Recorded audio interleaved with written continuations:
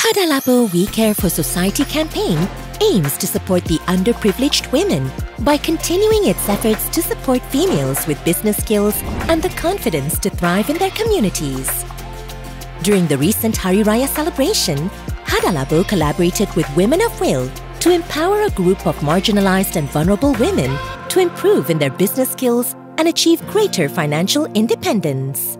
For the entire month of May, with every bottle of Hada Labo lotion sold at Watson's Malaysia, one ringgit was donated to Women of Will in a bid to raise 50,000 ringgit. These donations were utilized to support a group of women from the B40 communities to bake 40,000 cookies, which were then distributed to 200 families from three people's housing projects in the Klang Valley.